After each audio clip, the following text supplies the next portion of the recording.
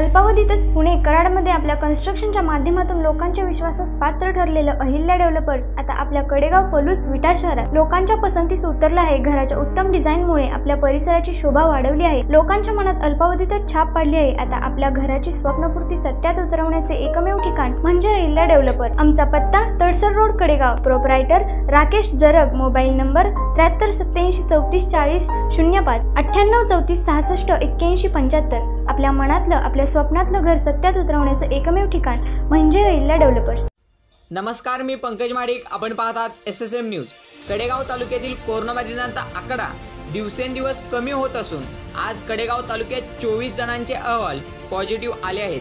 कडेगाव तालुक्यातील एकूण रुग्णसंख्या एकवीसशे छप्पनवर पोहोचली असून यापैकी सतराशे ब्याऐंशी रुग्ण कोरोनामुक्त झाले आहेत. तर आत्तापर्यंत कडेगाव तालुक्यात कोरोनामुळे पंचेचाळीस रुग्णांचा बळी गेला आहे. कडेगाव तालुक्यात आत्ता तीनशे एकोणतीस रुग्ण उपचाराखाली आहेत. अशी माहिती कडेगाव तालुक्याचे प्रभारी आरोग्य अधिकारी डॉक्टर माधव ठाकूर यांनी दिली.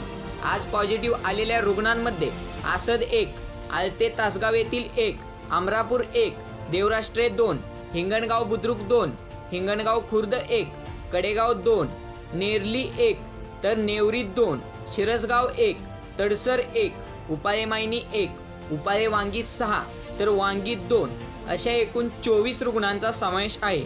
कडेगाव तालुक्यातील कोरोनाबाधितांचा आकडा काही प्रमाणात कमी आला असला तरी अजूनही नागरिकांनी काळजी घेणे गरजेचे आहे. वेगवान आणि ताज्या बातम्यांसाठी पाहत राहा फक्त एस एस एम न्यूज.